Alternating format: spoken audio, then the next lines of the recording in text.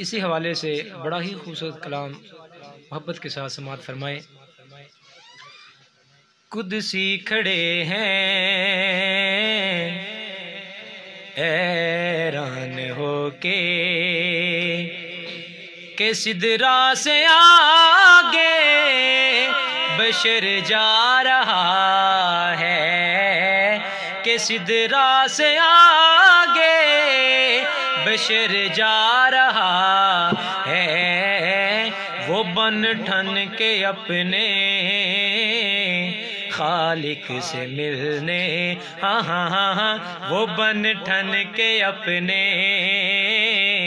खालिक से मिलने। सरे अर्श वो जिवर जा रहा है खुद सी खड़े हैं हैरान होके।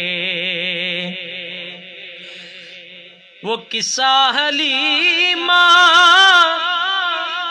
के आँगन का पूछो, जवानी का छोड़ो, तुम बचपन का पूछो, जवानी का छोड़ो तुम बचपन का पूछो। अभी मुस्तफ़ा ने उठाई है उंगली। अभी मुस्तफ़ा ने उठाई है उंगली। कमर से ये पूछो किधर जा रहा है? अभी मुस्तफ़ा ने उठाई है उंगली। कमर से ये पूछो किधर जा रहा है? खुद सी खड़े हैं हैरान होके। माशाल्लाह हुजूर ने मस्जिद हराम से मस्जिद अक्सा तक सफ़र किया। जब मस्जिद अक्सा में पहुँचे तो मस्जिद अक्सा का मंजर शायर इस शेर के अंदर बयान करते हैं। जब मस्जिद अक्सा में सरकार तशरीफ़ लेके गए तो वहाँ का मंजर शायर बयान करते हैं लिखते हैं शायर अक्सा में जितने भी मुरसल खड़े थे हैरत में सारे के सारे पड़े थे के हैरत में सारे के सारे पड़े थे। क्यों हैरत में पड़े थे? कि हम इनके पीछे ये क्या पढ़ रहे हैं? हम इनके पीछे ये क्या पढ़ रहे हैं? नमाजे ही लेने अगर जा रहा है। नमाजे ही लेने अगर जा रहा है। खुद सी खड़े हैं। होके माशाल्लाह। और मस्जिद एक्सा से जब सरकार ने आसमान का सफ़र शुरू किया, सिदरतुल मुंतहा पे जाके जबरील अमीर रुक गए।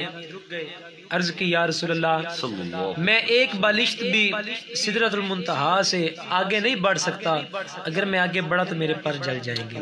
या रसोल्ला आगे आप जाने और आपका खुदा जाने। आगे कितनी मंजिलें हैं कौन सा रास्ता है आगे आप बेहतर जानते हैं या आपका खुदा बेहतर जानता है। आगे का मंजर सिदरतुल मुंतहा से आगे का मंजर शायर बयान करते हैं। लिखते हैं शायर जाता है देखो वो बेखौफ कैसे के सब जानता है। राहें वो जैसे के सब जानता है।